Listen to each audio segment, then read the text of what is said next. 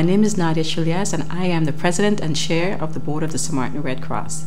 Thank you for taking the time to tune in to our mini series of our First Aid Save the Life campaign. The fact that you took some time out to watch means that you really care a whole lot about saving someone's life and even your own. For the first time ever on Sint Maarten, the Sint Maarten Red Cross will be showcasing a live production broadcast about first aid assistance and the importance of why it is an added value skill for your life. Whether it's a hurricane, a car accident, or a home emergency, you may be the one person to save your neighbor, a family member, or even a stranger's life. As a worldwide recognized first responder for first aid, we will be sharing valuable tips with some simple techniques that could be a difference between life and death for someone's existence. This is a limited series for the month of September and October, so do look out for the dates where you can tune in live on YouTube or Facebook, or you can register on the link below to participate in person in one of our live demonstration events. This is where you can also get certified and receive a certificate from the American University of the Caribbean School of Medicine for their Stop the Bleed campaign. See you there. When the place, when they are in a place of danger, once they are safe, you put on your gloves, evaluate the victim condition, and perform first aid. How do we evaluate the victim condition? It's important that we know what's wrong with the victim before performing first aid. We don't want to make matters worse. How do you do that? You tap the victim on their shoulder and shout with a loud voice, Sir, Madam, Sir, Madam, are you okay? Are you okay? The person can respond and the person cannot respond. If the person respond is responsive, you introduce yourself and ask permission to help. If permission is given to you, you do a head-to-toe examination on the person as you continue to talk to the person and ask questions to find out what happened and how they're feeling. If the person is not responsive, you check for breathing for no more than 10 seconds ask a bystander to call the emergency service, the ambulance, is 912, giving them the correct condition of the person, and asking them as well to return to let you know what the ambulance department said. It's important that the bystanders inform you about their conversation with the emergency services so that you know where they are, if they're coming, what time they will be there. Ask them as well to bring an AED and a first aid kit if there's any available. If there's no bystanders, you dial the emergency service on your phone and put it on speaker so that you can listen to the instruction of the dispatcher and continue working with the victim. How do we check for breathing. We check for breathing by doing a chin lift, head tilt to open the airway. You're looking for rising and falling of the chest, listening to any sound that might be coming from the victim, and you feel for breath on your face cheek coming from the victim's mouth or nose. The LLF, look, listen, and feel. If the person is unconscious and breathing, you then put the victim in the recovery position. I will give you a demonstration of the on-scene safety, how to evaluate the victim condition, alert emergency, and perform first aid on a person that is unconscious, is breathing, and has no other life-threatening conditions.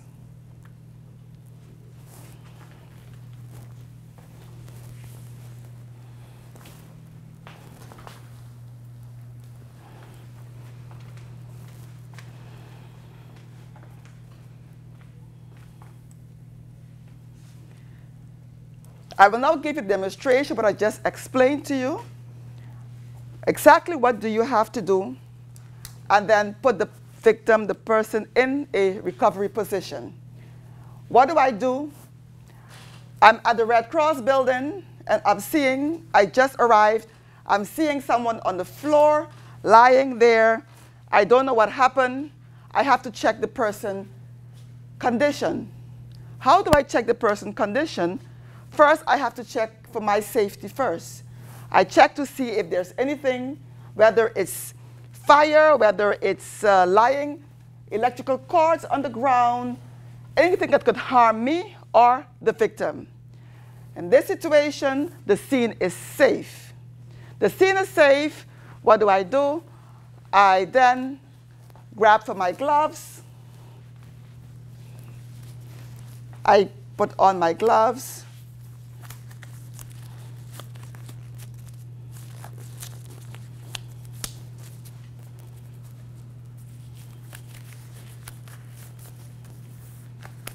And I approach the victim. I approach the victim to check the person condition by tapping the victim on the shoulder. Hello, hello. Are you okay, ma'am? Are you okay? Are you okay, ma'am? Are you okay? There is no response. The person is unconscious. What do I do next? The person is unconscious. You check for breathing. You do a chin, a chin lift head tilt position, and you check for no more than 10 seconds, you check for breathing.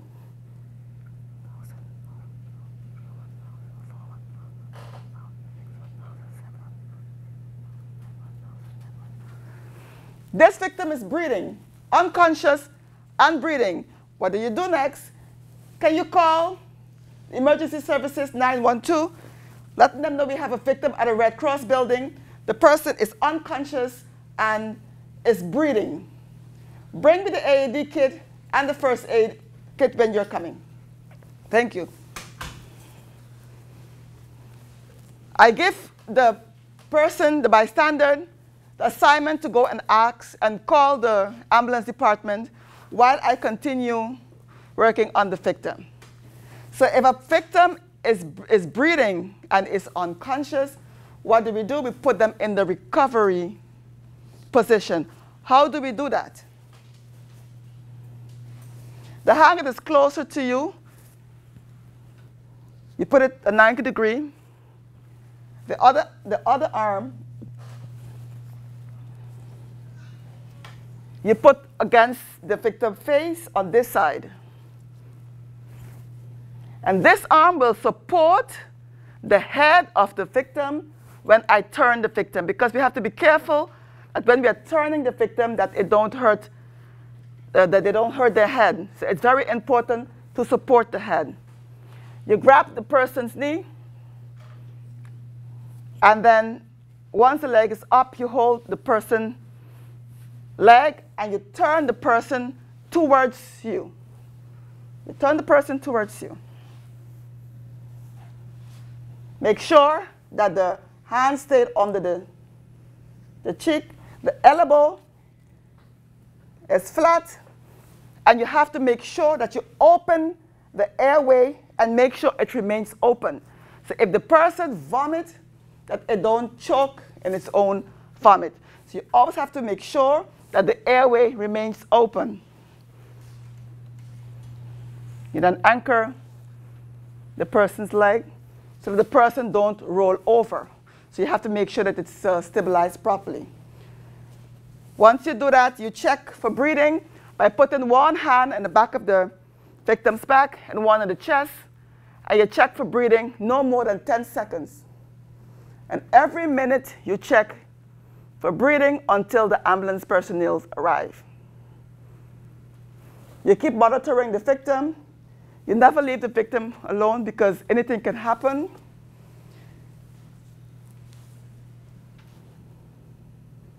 So you just continue monitoring. Yes, that's the recovery position. Now, I'm going to ask the victim to go back over on your back. Thank you.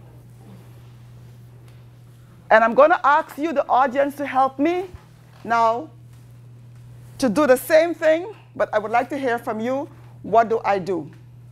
right? I am at the Red Cross building, arriving at the Red Cross building. There's someone on the floor. What is the first thing do I have to do? The first thing I have to do? You have to look for the area, any danger around. Yeah. Um, like say check if anything armor, then look for the safety, then after you go to the victim, touch the shoulder, call her. Good. anytime, um, We're going step by step. The, safe, the safety of yourself and the victim that is very, very, very important.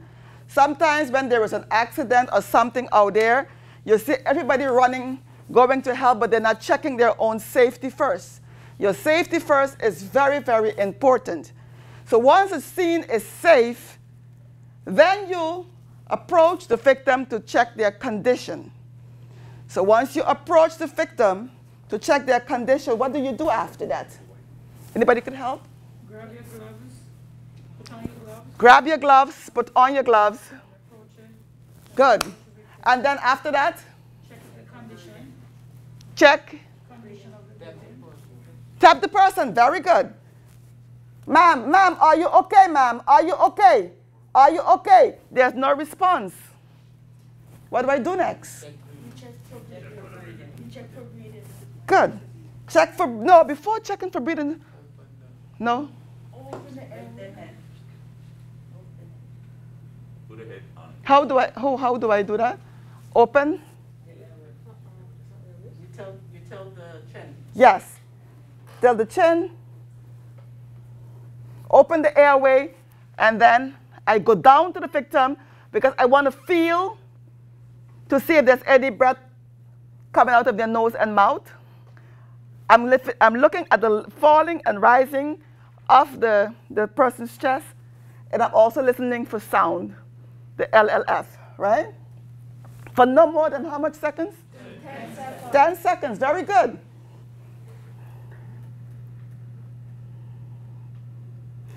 In this case, this person is breathing. Unconscious, but breathing. What do we do?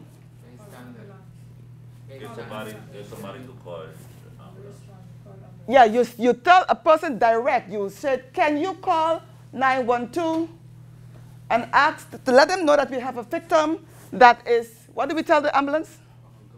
Unconscious and? And is breathing. And what else? And can you bring the AED? And the first aid kit. Very good. The first aid kit and the AED. So when he's coming, if there's any, he will bring it with him. While the person who is helping the victim can continue doing what they're doing until the ambulance arrives. Yes? And what do I do next? Put him in a recovery position. Okay, how do we start with the recovery position? This come, yes, 90 degree, yes, and then after that, the other arm, the face, right? And the cheek, yeah, on the face, and you hold it there. And what do we do next? Lift the foot. Go to the leg. The leg. Lift the leg, and then turn them. I'm going to turn the victim. Facing me, very good. Always because you have to keep looking at the victim at all times. So you're facing, turn the, the victim facing you. And then the leg. Yes. And what I do up here by the head. Lift the chin, lift it. Yes, I open the airway, make sure the elbow is flat on the ground so the person don't roll over. And why do I open the airway? Why do I make sure the airway is open? Very good. So in case the victim vomit, the, the victim don't get choked. What do I do after that? Check for breathing. Check for breathing. Check for breathing. How do I check for breathing? One hand on the back, one hand on the chest, and then I check for breathing for how, how long? 10 seconds. Very good. And how often do I do this? Every minute. Every minute. Okay, some good students. Very good. okay, so then you continue monitoring the victim until the ambulance arrives. If this victim stop breathing, and that we will teach you in our next episode. Thank you.